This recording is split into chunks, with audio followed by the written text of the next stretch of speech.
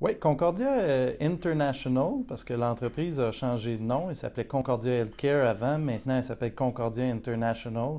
Euh, cette entreprise-là, c'est un peu un petit valéant. C'est une entreprise qui a mis beaucoup l'emphase sur les hausses de prix de ses médicaments. Et euh, on avait écrit un article au sujet de cette entreprise-là dans le journal Les Affaires en mai dernier. Et on disait essentiellement trois choses. On disait que l'entreprise tripotait beaucoup ses états financiers.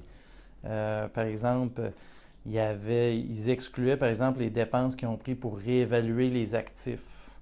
Euh, ils, excluaient les dépenses qu'ils prennent pour l'inscription de leur titre en bourse. Donc beaucoup de comptabilité créative. Ensuite, on remarquait que les dirigeants ont un plan de rémunération qui avait pas vraiment d'indicateurs précis pour savoir s'ils allaient obtenir un bonus ou non. Et en même temps, c'est une entreprise qui a une dette colossale. Ils ont, ils ont une dette de 3 milliards de dollars et ils ont réalisé une grosse acquisition il n'y a pas si longtemps avant de savoir que ça allait être très difficile d'augmenter leur prix. Parce qu'il faut savoir que Concordia, leur modèle d'affaires, c'était d'augmenter les prix après avoir fait une acquisition.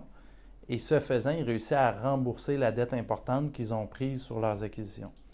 Alors maintenant, ils sont dans une position où ils ne peuvent plus faire ça. Et c'est un peu ce qu'on décriait dans l'article. Le titre à ce moment-là était à 32 euh, Aujourd'hui, le titre s'échange à 14 ou 15 Donc la débâcle a été très rapide depuis qu'on en a parlé. Et, aujourd'hui, on apprend avec les résultats que le chef financier quitte l'entreprise. Alors ça, c'est toujours un drapeau rouge quand le chef financier, la personne qui est en charge des états financiers, de la comptabilité quitte, c'est à surveiller on apprend que le dividende est suspendu et le message que les dirigeants passent, c'est que ça va aider au remboursement de la dette. Alors, on a déjà un signal que l'entreprise considère que ça va être serré et ça va être difficile de rembourser la dette.